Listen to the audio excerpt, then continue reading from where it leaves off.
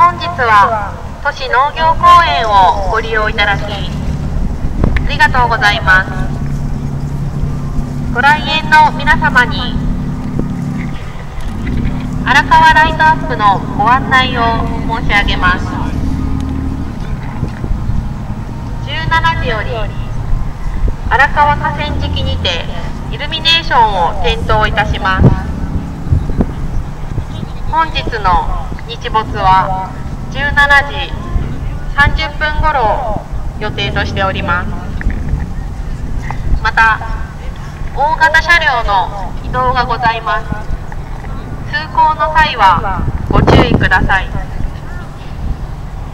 なお公園は17時にて一部閉門となります。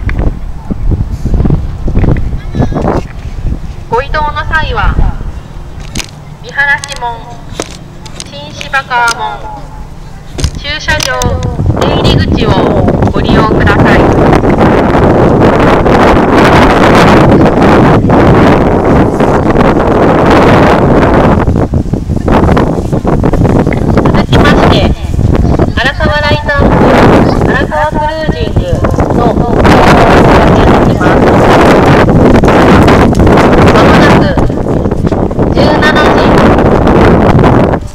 5分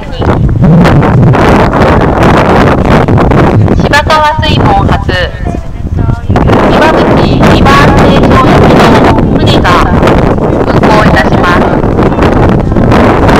は子供に500円となっております乗船の川水門仮設船着場にお越しください